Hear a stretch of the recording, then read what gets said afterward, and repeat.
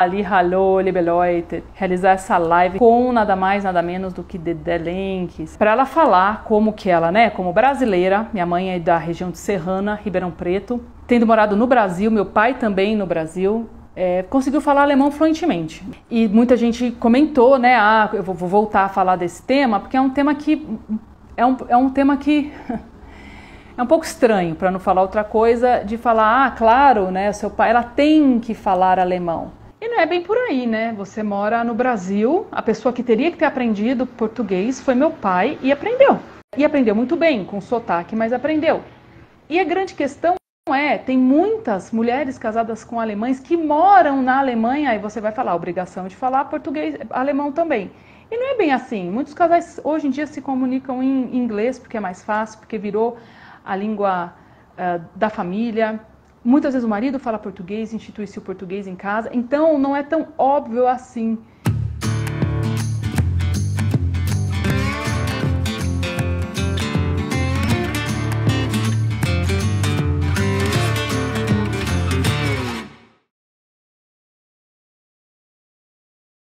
Hali, hallo, dona Dedé, conseguimos? Eu acho que é mais fácil aprender alemão do que entrar ao vivo no Instagram, gente, certeza. Com absoluta. Certeza, com e olha certeza. que não tinha e, e, olha que não tinha nenhum universitário aqui comigo, hein? Que bom que você deu um jeito sozinha, tá vendo? É o Dia das é. Mulheres, são essas pois mulheres é. em primeiro lugar. Also, willkommen, liebe Dede, que ela ouviu a vida inteira o famoso liebe Dede. É, vielen Dank. Aí. E aí, Exatamente, com muitas coisas para contar e já vou começando a honrar, não só né, essa calma de falar, vamos tentar fazer acontecer a live. Hoje mesmo a gente estava falando das grandes mulheres das nossas vidas, né? Sim. Que foi a minha avó, a mãe da minha mãe, uma enfermeira porretíssima que vendia até as próprias coisas para comprar pano para quem passava frio. Minha avó alemã também. Muita gente não sabe, mas a minha avó é, alemã era, na verdade, inglesa. Não, meio a meio, né? Pai alemão e mãe inglesa. É, Mas, é. muita coisa para falar, porque ela nasceu, na verdade, né, ali, é, quer dizer, durante a guerra. E aí, como é que ficou essa situação de um pai inglês morando na Alemanha e a mãe alemã? Enfim, uhum. tema para uma outra live. Isso. Mas, primeiro de tudo, queria aqui honrar, né? Eu falei para o pessoal já, eu queria ter falado sobre tantos outros temas, né, de outras mulheres alemãs. E na verdade eu falei: não, eu vou falar sobre a minha mãe. Eu não estaria hoje aqui e vocês não teriam tudo que vocês têm também se não fosse por ela. Então, além de um exemplo, é, a minha mãe vai poder falar também de como ela conseguiu falar alemão fluentemente morando no Brasil, né? Coisa que muita gente acha ser impossível, mas que na verdade não. Tem um caminho muito legal a ser conquistado e é possível sim. A, a Janaína lá. E então, mãe, bem-vinda aqui ao canal pela primeira vez. Obrigada. Não, não, primeira vez não. Você já me usou tocando pandeiro para o seu vizinho chato. Você já me usou mostrando as, as minhas moambinhas que eu sempre trazia da Alemanha. Você já me expôs muito. Agora hoje é um papo mais sério, né? Tá bom. Yeah. Hello, Helen. Yeah. Tá bom. Então tá é isso, mãe. Quando o pessoal escreveu assim, ah, é claro que ela aprendeu alemão porque no Brasil porque seu pai é, falava alemão. A gente vai falar não. do mérito disso, né? Assim, de, de ter ali amigos, tal, não sei o quê. Mas eu acho que essa frase, que nem eu falo, é perigosa porque, primeiro, nós falávamos português em casa, meu pai falava português muito bem. Segundo, porque tira o mérito dela todo o esforço que ela teve e conquistou. Então vamos lá, mãe, o que, que aconteceu? Você. A gente tinha um monte de amigo, um monte de gente, e você mandava muito bem, sempre mandou bem me visitou todas as vezes na Alemanha, mandando bem, resolvendo problema, até brigando em alemão, nunca Sim. tendo morado na Alemanha. Bom, eu acho que tudo começou, também tem uma afinidade, né, que eu sempre tive com a cultura alemã. Meu pai comprava muitos livros e as famosas Grimm Märchen, né? Isso era pra gente né, o top do top, né? E com 10 anos, 12 anos, eu fui saber quem eram esses depois da Grimm, e dali na minha adolescência eu me encantei com Thomas Mann, com Hermann Hesse, com Heinrich Böll, com Kafka, enfim, Günter Grass depois da guerra. E aí eu fui cada vez mais os grandes compositores alemães, é, as bandas né, da nossa época, que era Nina Hagen, Scorpions, Rammstein, e, e aí com vocês o de Prince, né? E eu sempre me interessei muito pela cultura alemã. Né? Então, eu tinha 18 anos, nem conhecia seu pai, nem trabalhava na CRUP ainda. Eu ia da minha cidade, que são 17 quilômetros para Jundiaí, fazer aula particular com um senhorzinho, né? um senhorzinho alemão, que aí me encantou mais ainda com os comentários que ele fazia, assim, da história e da cultura, como você também faz, né? Que isso eu acho que vai, vai puxando a gente mais e mais, né, para a cultura alemã. Porque Depois disso, eu... eu faço isso, gente. Acho Oi? que é genético. É, eu acho também. Depois eu fui trabalhar na Krupp, Metal, na Krupp Metalúrgica, Campo Limpo, e meu sonho era ir para a Alemanha através da Krupp, né? Então, ainda sem conhecer seu pai, eu fui fazer Instituto Goethe, que ainda era ali na, na Rua Augusta, né? Eu fui procurando meus caminhos de aprender alemão, né? Mas depois, quando eu conheci seu pai, mesmo vocês falando, ah, ele tinha que aprender português, ele morava no Brasil, tudo bem, mas assim, pelo fato, né, dele ser alemão e vocês, eu ser brasileira, eu falei, bom, nós estamos vivendo no Brasil, eles têm que contemplar o lado, vamos falar, germânico do pai, e eu, como sempre admiradora da cultura alemã, nós vamos então vivenciar, vamos dizer, as festas alemães, os natais, né, que eu acho muito lindo, né, tudo que se faz no Natal, principalmente para as crianças, né, a Páscoa, é, muito, olha gente, eu aprendi muito alemão lendo historinhas para os meus filhos. Tinha uma livraria na, na Barão de Tapetininga, em São Paulo, chamada Deutsche Buchgemeinschaft, que lá a gente podia comprar livros, discos, até Lameta, calendário de Natal. Então, era sagrada as idas a São Paulo, a gente, o pai vinha com vários livrinhos, o pai vinha com historinhas, e eu aprendi muito alemão lendo e cantando alemão com os meus filhos, desde o Alemanha Entchen, Filme auf dem See, né, que nem Rira Rutsch, Wir fahren auf der Kutsch. Então, é muito vocabulário e para a historinha, para a criança, com os filhos, né? Mesmo para quem não tem filho, viu, gente? Com música se aprende alemão bem legal. E com, com livros de receita. Ah, e com receita, ia falar exatamente. Com isso. livro de receita. Olha, só dos verbos, kneten, schlagen. É, você tem as diferenças dos verbos, as medidas, né? É muito rico aprender alemão dessa forma. E olha, e eu também pegava uma receita, apesar que eu vivi oito meses com a minha sogra e aprendi muito com ela também, mas eu estava com dicionarinho lá, tinha um ingrediente que eu não conhecia, tinha uma medida que eu não conhecia, né? O famoso Pfund alemão, o que, que é isso? Né? Vou lá saber o que, que é isso. Então, assim, eu acho que vai muito da vontade, né? Da, da, da gente aprender e mergulhar de cabeça mesmo. Agora, você está falando que eu convivia com os grupos de amigos aqui de Campo Limpo Paulista, a colônia alemã era muito grande, né? Quando a CRUP ainda não tinha assim uma administração mais americanizada, a colônia alemã, os diretores, os gerentes eram todos alemães, então a gente se encontrava muito. Eu nunca tive vergonha de falar, pessoal.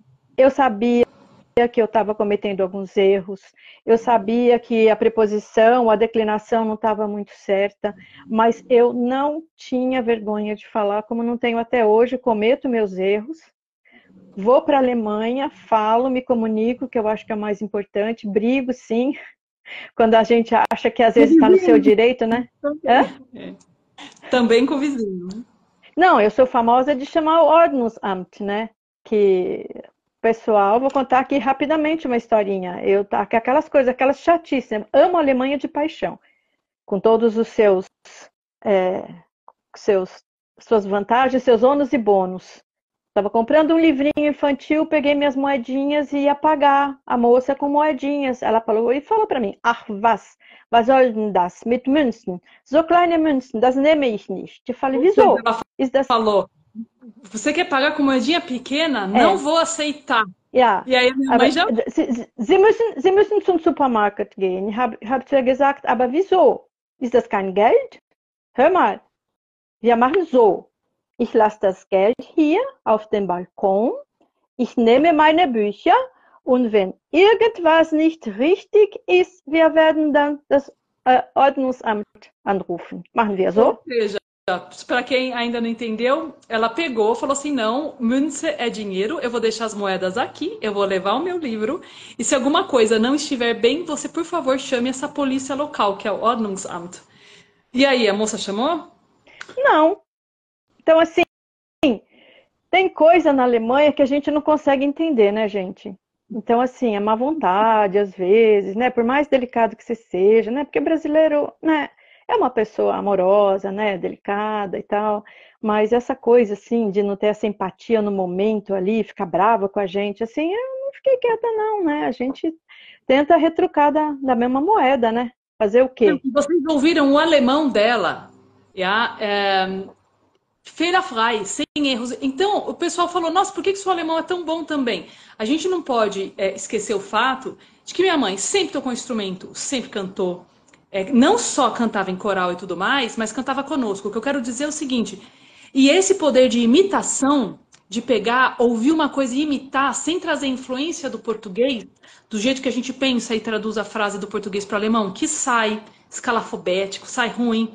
É, de perceber aquele jeitinho especial, tipo o que você falou, was? O que, que, uhum. significa isso? Das? Até com o nariz.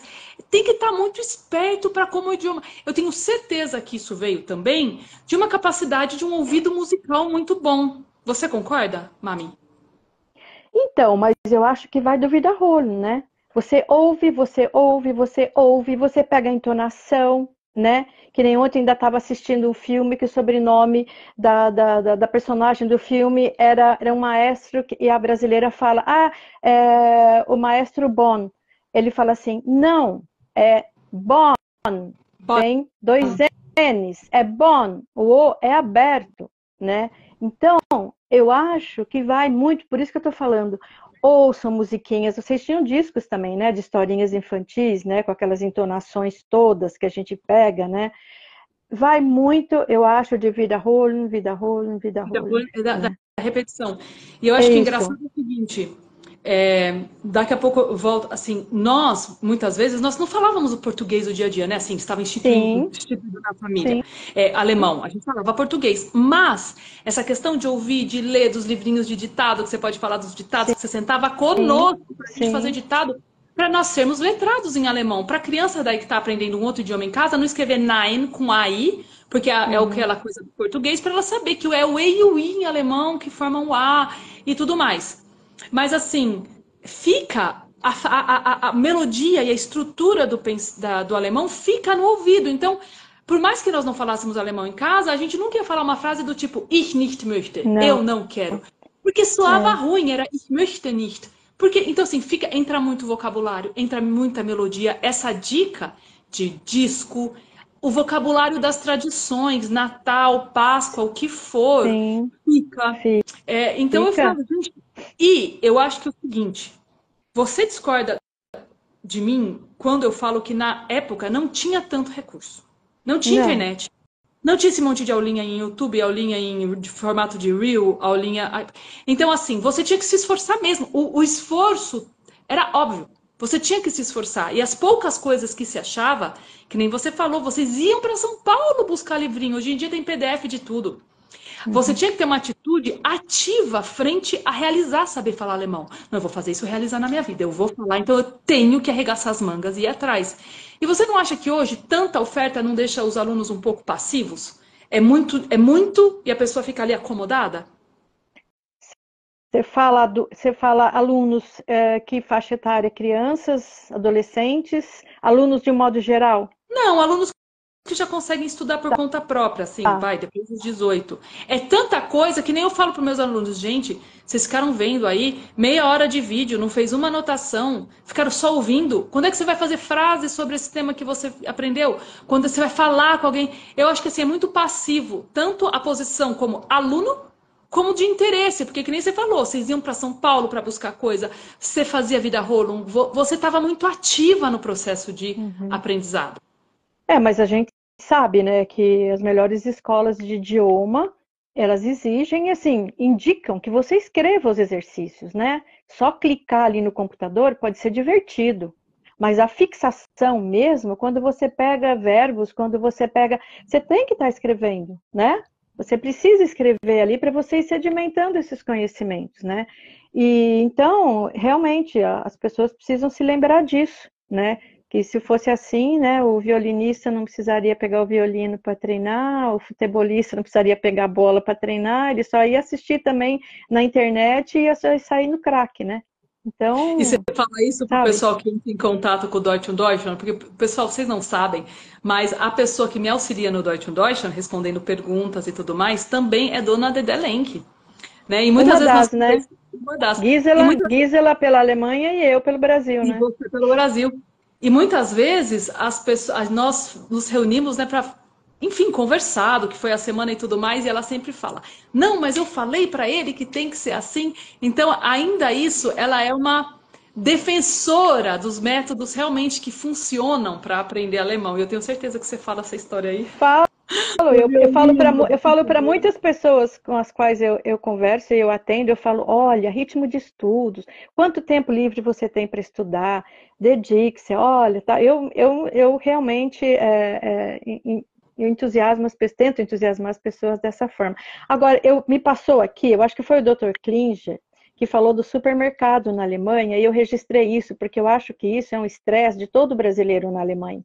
Todo brasileiro na Alemanha. Passar num caixa de supermercado é um desafio. Eu tenho até taquicardia. Ah, tinha, hoje não tenho mais, né? Aquela história de zac, zac, zac, zac, passa, passa, passa, passa tudo, passa tudo. E, e, aí eu comparo aqui com o Brasil, né? Na, na minha cidade, que a menina fala para outra do caixa ao lado, fulana, você vai para a praia semana que vem, vai fazer sol, você vai com seu namorado, você vai com seu namorado. Imagina, imagine, imagine essa situação na Alemanha, né? Imagine então, hoje eu tento ir com mais calma. Pode atrás de mim, pessoal, bufar, como às vezes, né? Desculpa a expressão, mas, né?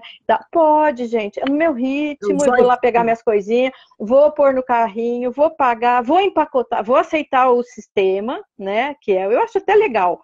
Cada um empacotar suas coisas lá no outro canto, né? Senão a gente fica ali, que nem aqui no Brasil, né, gente? A gente fica duas horas no caixa esperando a pessoa colocar um chocolate em cada saquinho, um, não sei. Então, Mas aqui, então assim, eu vou respeitar o sistema. Não dá para você levar a compra de mês para um outro canto para você empacotar. Na Alemanha, o pessoal passa diariamente no supermercado para pegar três, quatro, cinco coisas que faltou ali para dar liga na janta e vai para casa. Então, tem, tem coisas culturais bem diferentes, né? Tem. A, a, lá não tem, tem, saquinho, aqui tem saquinho. Aqui a gente contrata até um empacotador a mais, que é o aprendiz, que é não sei o que. Imagina, isso é luxo puro. É. Luxo absoluto luto, né? Mas eu acho, e o pessoal vai falar se concorda comigo, que é nessas horas desse estresse do supermercado alemão que você teria que estar com seu saquinho de moedas. eu acho também. Da próxima vez eu vou só com um fênix.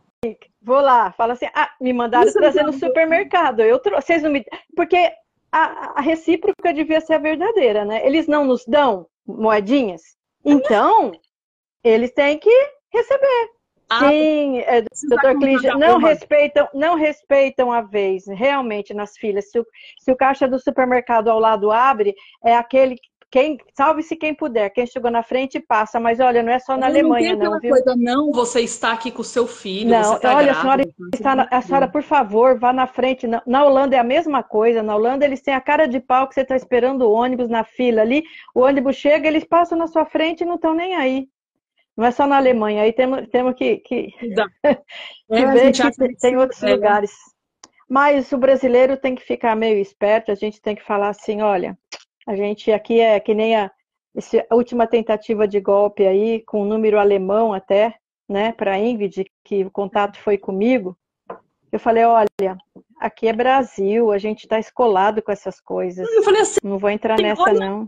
Pessoa que, esse, que essa foi tentar dar golpe na minha mãe. Que nada. O número alemão ainda. É. O número alemão, ela tá manipulada. Deixa eu falar algumas curiosidades aqui. Pessoal, além, né? A minha mãe já foi chefe bandeirante, chefe escoteira, já fundou o grupo escoteiro, já foi de busão para o Chile num acampamento internacional de escoteiros, acampando. Com, onde nós temos que contar as suas aventuras pela Noruega, caiu, rachou. Onde é que você rachou mesmo, mãe? A órbita. Seu... A órbita. da órbita do olho. É, meu Deus do céu, caiu na geleira milenar, quase morreu. Eu falo assim. Então, para uma pessoa dessas aprender alemão, eu acho que foi fácil. Então, mas vamos ao, ao, ao, tema principal de hoje, né? Que é como que eu, brasileira, falo alemão. E eu vou voltar a repetir para quem está nos assistindo agora é não ter vergonha de falar, porque o alemão, quando ele vê que você está se esforçando e que você quer falar alemão, ele acha muito legal, ele acha muito interessante, né? E ele ajuda, ele, ele, ele, né, ele fica assim, é, é, orgulhoso até de você estar tá querendo entrar na cultura dele. Eu já vi senhoras é, há uns anos atrás na Alemanha que alguém chegou e falou: Ah, você está aqui na Alemanha? Eu tô. É, mas você fala alemão? Não. E essa senhorinha falou para ele: was machst du denn hier, wenn du kein Deutsch sprichst? O que, que você está fazendo aqui se é, você que não que você está fazendo alemão? aqui que você não fala alemão? Então eles não conseguem entender né, essas coisas. É, não, e, e, a gente, e, a, e, a, e a gente, tipo, hum. você está aqui usando meu país, trabalhando aqui, vai ter filho aqui, usando nosso sistema, não sei o quê, e meio que nem se importa em saber nossa língua. É um pouco assim, é, é, né? é um pouco assim, desdém da minha cultura. É. é. É, e quando a gente fala alguma coisa, eles logo falam, ah, du sprichst sehr gut Deutsch. Und né, você sabe que você não fala esse sehr gut, mas eles também né, te incentivam né, e te falam. Eu acho isso é bem interessante mesmo. Quem está na Alemanha, principalmente, é, eu acho imprescindível, né? Saber alemão não é só pelo dia a dia, não.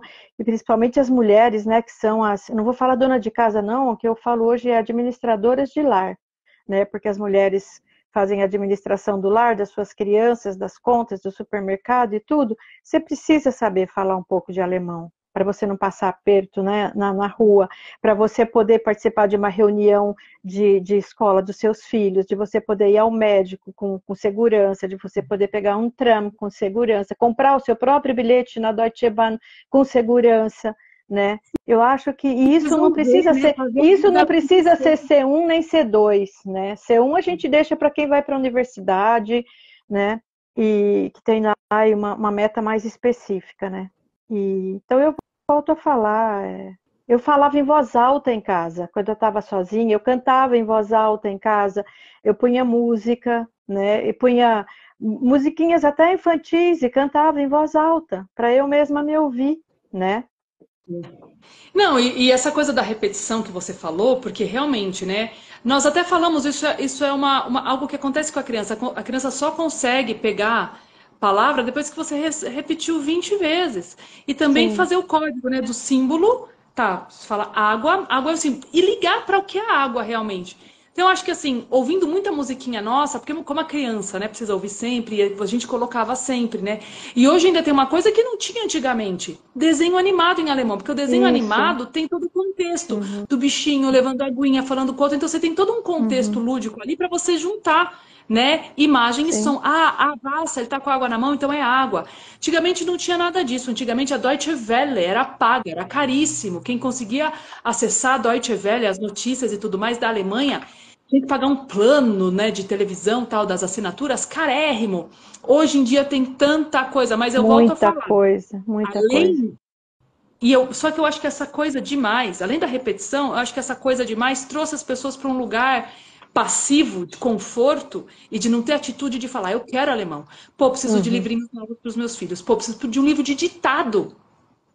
Preciso de um livro de prova de. Entendeu? A, a, gente tinha que ir atrás, a gente não podia estar tá na situação é, de conforto. Então, essa coisa de sair da zona de conforto. E acontece muito com quem está na Alemanha, de querer ficar um pouco, na... porque dá preguiça. Você fala, nossa, vou aprender alemão.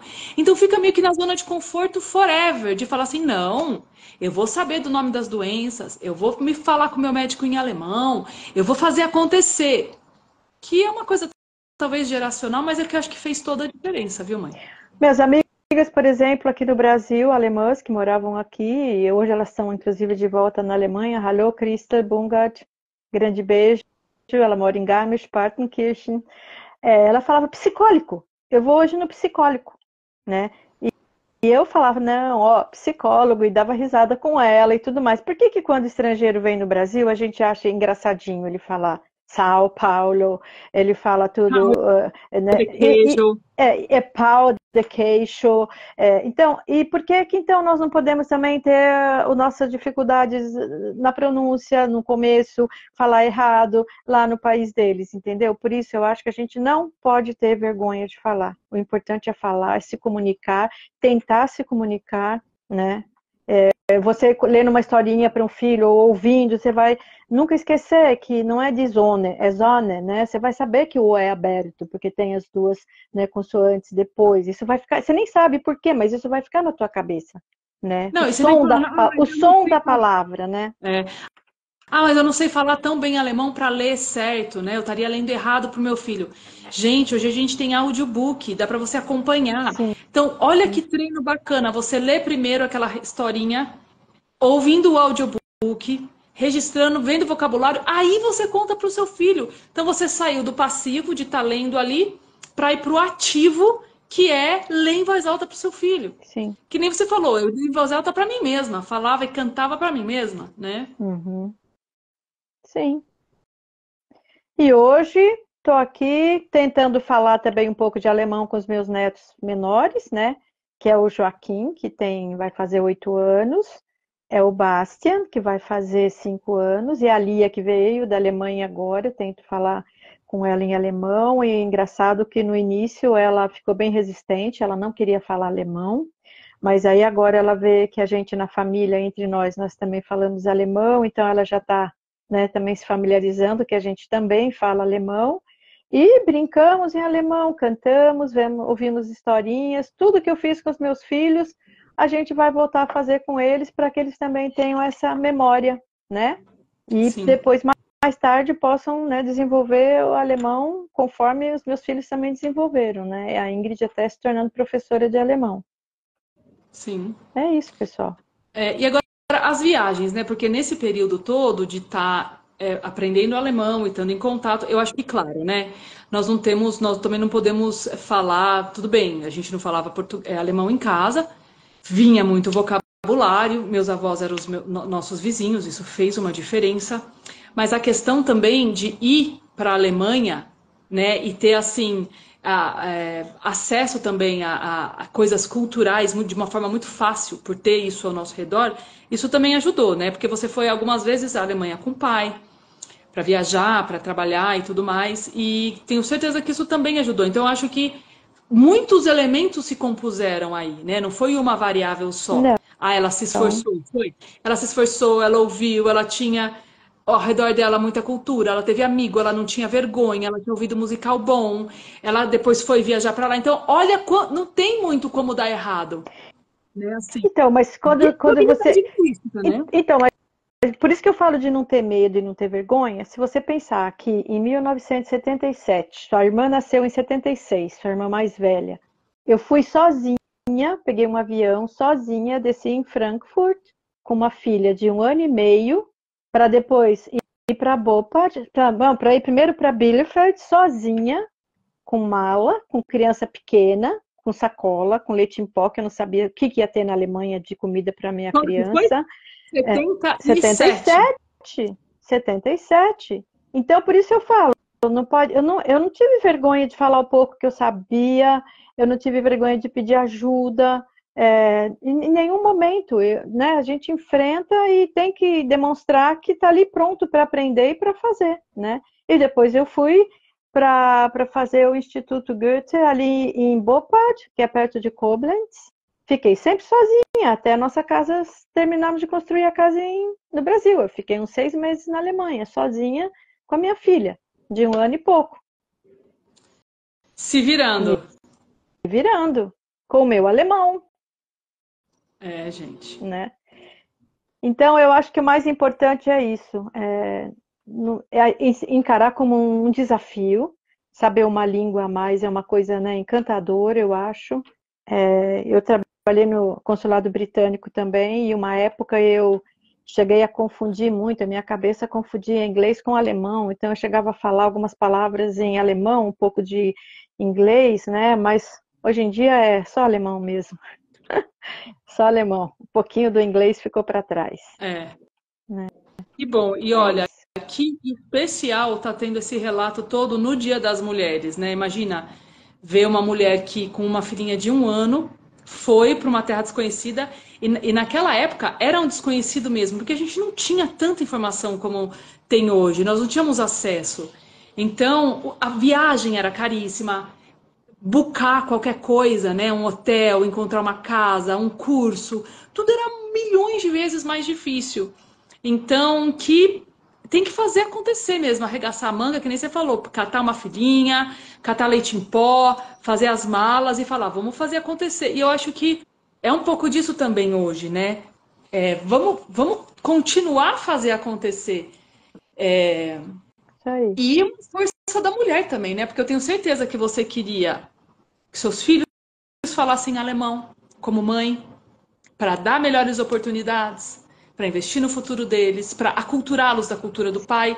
Então, Sim. muito é pouco dessa força. A gente fala, hoje não é dia das mães, é dia das mulheres em geral, mas muito é, né? Eu, não, a gente não pode fechar os olhos. A mulher, parabéns de você ter feito tudo isso acontecer. É, que sirva de estímulo para muitas, principalmente mulheres, mas de modo geral para todos os estudantes, né? Essa minha vivência, esse meu depoimento e goste mais do idioma alemão, goste mais da Alemanha. É, já falei algumas vezes que se pudesse teria ido morar lá, a gente se esforça para ir pelo menos uma temporada por ano, principalmente lá para as montanhas, que mesmo tendo aquele dialeto bávaro lá, tendo aquele dialeto bávaro, a gente desfruta muito de tudo isso. Mas também gosto muito do meu país e tento fazer a minha parte por aqui.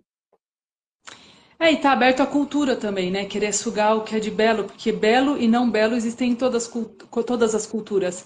Pessoal, quando minha mãe vai para lá, e minha mãe calhou, né? E que bom que ela foi sempre nos verões alemães, mas é sempre assim, ela acorda falando: olha, aqui na cidade vizinha vai ter uma festa tal, depois vai ter a festa do queijo, lá tem uma padaria que a gente devia conhecer, eles também fazem uma cerveja, tudo. Então, assim, a gente acorda com essa vontade dela, assim, de querer curtir a Alemanha, querer fazer a trilha lá na floresta, que só faz uma vez, que é para conhecer a queijaria que fica lá para cima. Essa história da queijaria ninguém quis ir, só ela.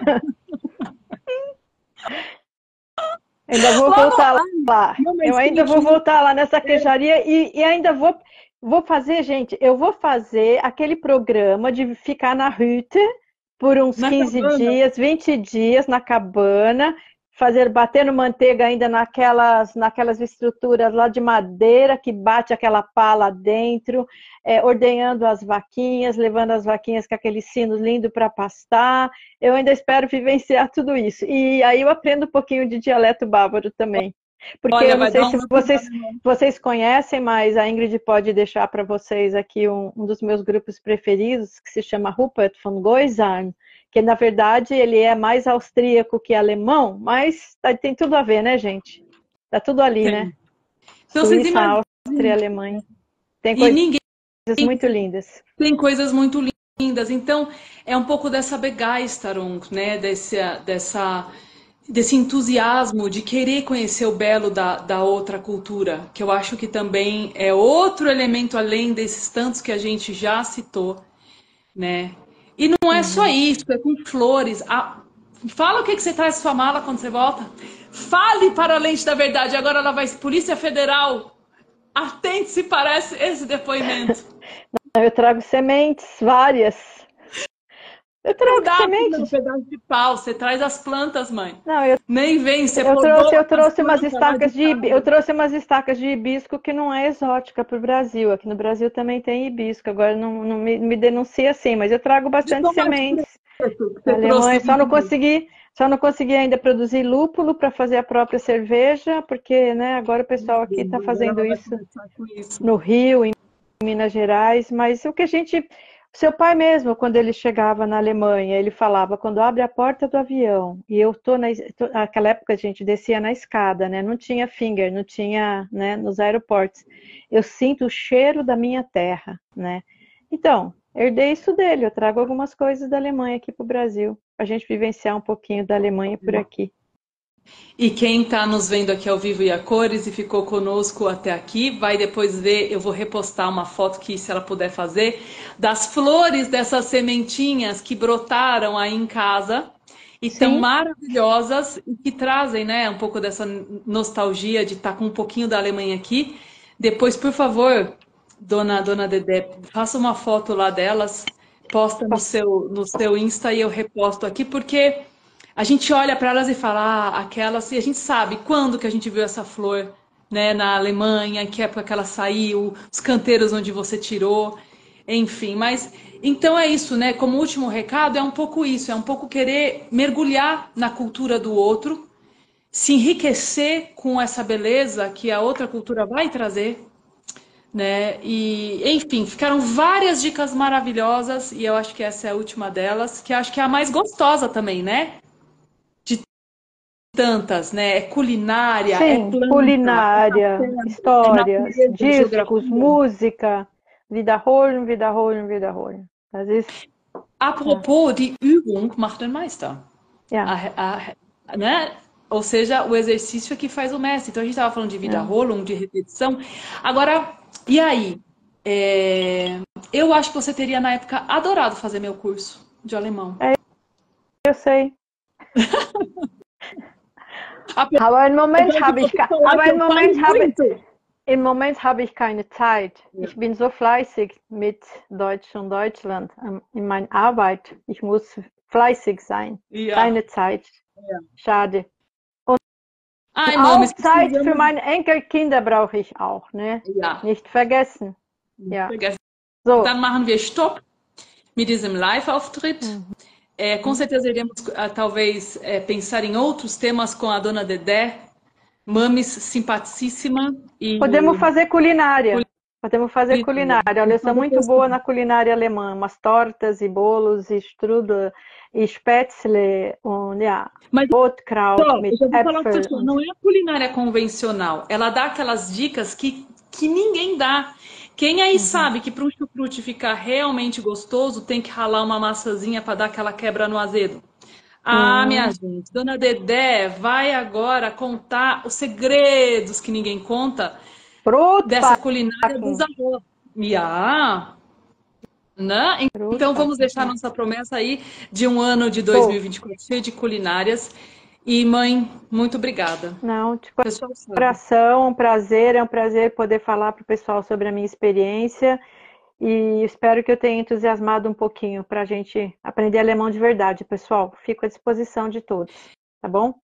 Mas... Grande abraço especial às mulheres. Eu não estou falando obrigada pela live.